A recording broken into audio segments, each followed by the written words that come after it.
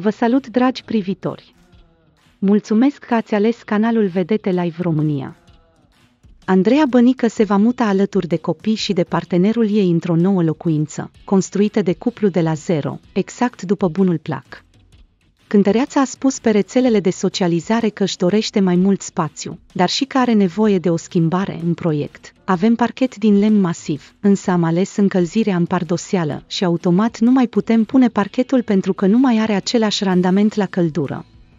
Am decis să punem o gresie care imită parchetul absolut superbă pe care am pus-o și la hotel doar că pe altă nuanță. Nu-mi deloc caloriferele la vedere indiferent de model, de aceea am ales încălzirea în pardoseală. A scris vedeta, revin cu imagini.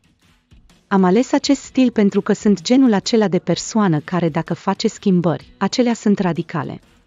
Dacă vedeți camerele copiilor. Foi. Superbe.